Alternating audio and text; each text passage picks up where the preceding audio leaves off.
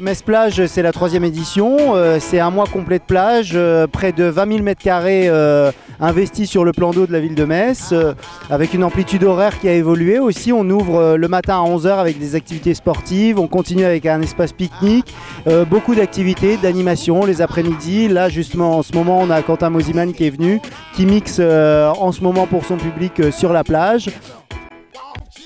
Voilà, on essaie de faire évoluer le concept qui remporte un succès populaire euh, vraiment très important. Première édition, c'est 29 000 euh, plagistes. Deuxième édition, euh, l'année dernière, c'est 59 000 plagistes. Et là, au bout de, au bout de 8 jours, on, est déjà après de, on a déjà dépassé les 20 20 000 visiteurs. Bon, après, c'est sûr que ça dépend aussi beaucoup du temps. Alors, on espère que l'anticyclone des Açores va remonter pour réussir à nous protéger et faire que les plagistes puissent bénéficier de, cet espace hors du commun à Metz.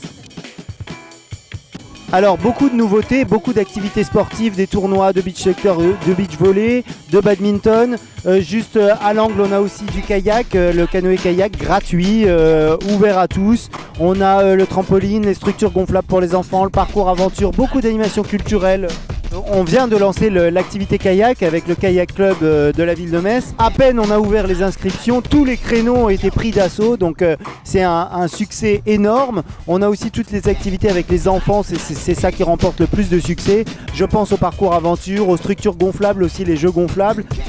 Et puis lundi, on lance aussi le pôle nautique, c'est-à-dire qu'il y aura une dizaine d'activités nautiques tout autour de Metz-Plage euh, pour les enfants. Une autre activité qui a un vrai succès, c'est l'acrobranche. Euh, c'est euh, vraiment les enfants et même le samedi, c'est même les adultes peuvent y aller. On grimpe dans les arbres, on fait de la tyrolienne, etc. Et ça, c'est formidable. La semaine prochaine, on aura un casting géant pour la, réalisation d'un long métrage. On aura également un défilé de mode qui va avoir, avoir lieu sur la plage. On aura une séance de cinéma en plein air, ça c'est une nouveauté.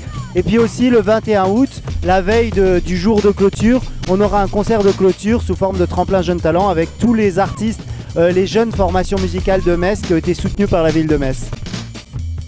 Les vendredis, il y a également des guinguettes, euh, guinguettes euh, modernes. Chaque vendredi à 18h, on découvre un groupe, une formation musicale de Metz. Voilà, une occasion de venir boire un verre et découvrir en même temps une formation musicale. Après cette euh, s'être baigné, voilà, c'est un peu l'ambiance de la plage. On peut même, dans les nouveautés, on a beaucoup de partenariats privés. On a 16 partenaires privés qui se sont positionnés, qui font que l'augmentation du budget ne, finalement ne repose pas uniquement sur les, les, contribuables. Et donc ça, c'était vraiment un engagement euh, on a d'ailleurs des petites choses en plus. On a des points d'eau qui ont été installés par euh, Veolia. On a euh, la Poste qui a fait un point aussi. on peut écrire ses cartes postales et les envoyer directement depuis le site. Vous pouvez venir boire un verre, écrire vos, cartes postales et tout de suite les envoyer travers le monde. On souhaite évidemment valoriser l'image de la ville de façon générale, de façon nationale aussi. Et bien sûr, tous les frontaliers sont les bienvenus.